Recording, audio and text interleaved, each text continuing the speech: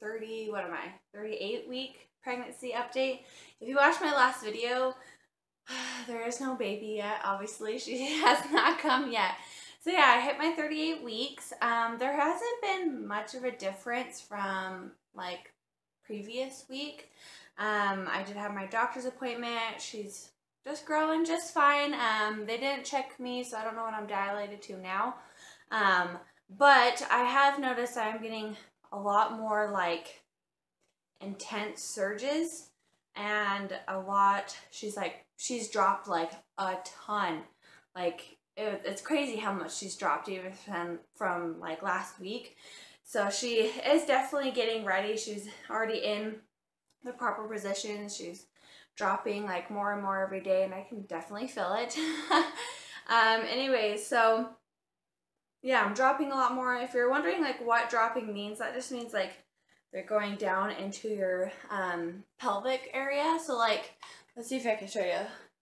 So like before my belly used to be kind of like round like here, but now like there's like such a gap between here and the top of my belly. Anyways, so that's what like, that's how far she's dropped. Like I was kind of higher before, but now I'm like a lot lower. Um, there's definitely a lot more pressure down on my cervix um, just because that's where her head is and she's thinning everything out. And my back has been, my lower back has been achy a lot more.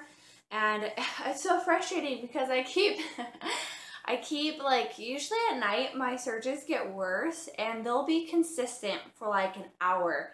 Like I had some even last night, but on, I think it was Monday, that it was they were a minute apart for six minutes for a whole hour. And I was like, okay, like, is this it? Like, oh my gosh, this is really happening. And then after the hour, they went irregular again. And I was like, no, like, come back. Like, uh, my body keeps, like, psyching me out. So, anyways, I was really hoping that she might come this week. And she still could. I mean, we still have, like, three days this week. Anyways, so yeah, I've been just timing my surges. Um, still, still irregular quite a bit. Um, but sometimes they do get pretty close together. And so I don't know, like I haven't seen like really any other indications that I'm going into labor except for like my surges are getting a lot stronger and a lot, a lot tighter. Um, I have been walking like every morning um, to just like get my body moving and also to help kind of like progress things hopefully a little bit faster. So I don't know when little lady wants to come. And it's so hard. Like, I swear, like, up until I was 36 weeks, like, time flew. And then I hit 37, and I was like, okay, from 37 to 40 weeks or 41 weeks, she could come anytime. So now I'm just like, oh my gosh, I gotta get myself distracted. So I'm just not, like, dying wanting this little girl to come. And so it's been, it's been a lot harder. Um, and also, like, I'm done with work. So, like, I had my last day on my job um last Friday. Yeah, la- a week from today. Wow, it's already been a week. Holy crap. Anyways, a week from today. And so I haven't really had much to keep myself distracted. Um, so I've been working on a lot of just other side stuff um, and cleaning my house and getting things ready. And I'm in like major nesting mode. um, so I like, I yesterday cleaned my whole car and I vacuumed it and I went through the dry, uh, the wash car wash thing and like reorganized her room and like made sure everything was like ready.